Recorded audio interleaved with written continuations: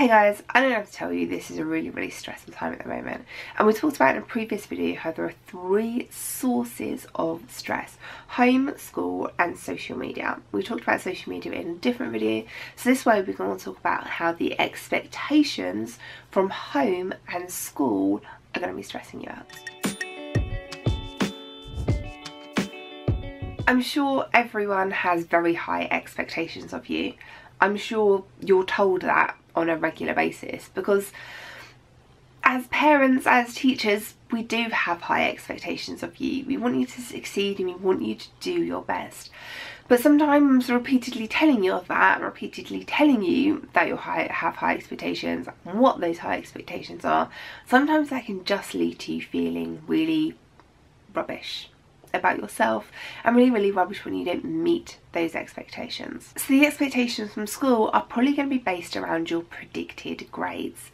Now your predicted grades are generally going to be based on key stage 2 data. Do you remember those exams you sat at the end of primary school in year 6? Yeah. That is what we use or schools use to predict your GCSE grades. Now some schools will do things ever so slightly differently but that's what the majority of schools and the exam boards use to predict exam grades. But a lot of stuff has happened since you were 11. Um, puberty, hormones, relationships, life. I bet things at home are very, very different to how they were when they were 11. There might be more people at home, there might be less people at home, there might be completely different people at home.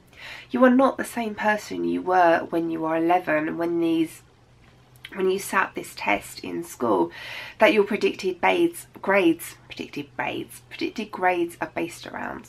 So I know sometimes your predicted grades are very, very high. I know sometimes it feels like an impossible mountain to climb that you know you've got these predicted grades and maybe you've been entered for the higher paper based on your predicted grades and you don't feel like you're ever, ever going to reach them.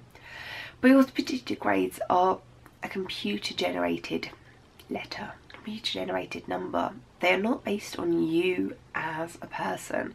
You are worth so much more than what a computer says about you based on what you did when you were 11. So don't listen to your predicted grades. The other area that expectations are going to be putting pressure on you from is going to be home. Now, your parents might have fancy, fancy university degrees. You might have older brothers and sisters who got all nines at GCSE and all A stars at A level and now on these fancy, fancy university courses doing maths and engineering and you want to do drama. Maybe you're a completely different person to your parents. Maybe you're a completely different person to your older brothers, your sisters, your cousins. That's good it is good that you are a different person to other people because if everything was the same, everything would be really, really boring. Imagine if all of your friends dressed exactly the same as you and they all agreed with exactly the same things that you did and you all ate exactly the same things all the time. It would be boring and it would be rubbish and you know, there'd be no variety. It is good that you are a different person to your parents. It is good that you are a different person to your brother and sister. But I do understand that having parents who are very, very fancy and high flying and having older brothers and sisters and cousins who are very, very fancy and high flying can put a lot of pressure on you to do the same, to live up to their expectations. And sometimes when you don't, it can feel like you've disappointed them, that you've let them down you haven't. You're just a different person. And that's okay. Not getting amazing grades, not meeting your parents' expectations, not getting your predicted grades in school is okay.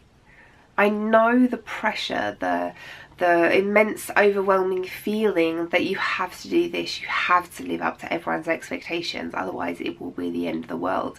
It can sometimes be horrific and truly, truly overwhelming, but it will be okay. I know it doesn't feel like it at the moment. I know sometimes you can't really see how it will be okay, but if you don't get the grades, if you don't live up to those expectations, or maybe their expectations were wrong. Maybe it's not you that was wrong. Maybe it's the system that was wrong. I've done lots of other videos on um, stress and mental health during exam times.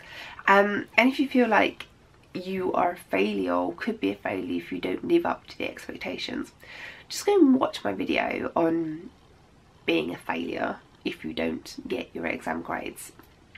And in that video I talk about various different things that might happen if you fail. And with the aim of showing you that the world isn't over if you fail your exams. Um, so good luck guys, I'm going to be here with you every single step of the way, I promise. Ouch. Mm, love you too, Prim.